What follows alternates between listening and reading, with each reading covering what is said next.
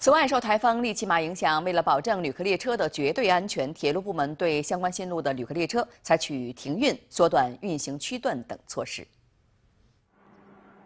受台风影响，八月十二号，青岛至北京的高幺七八次、高幺八二次、高幺八零次；北京南至青岛。高幺八五次、高幺九幺四、高幺八七次等十八趟旅客列车停运。八月十二、十三号，中国铁路沈阳局集团有限公司通化始发的四三六三次列车、通化始发的快七五九二次列车等二十八趟列车停运。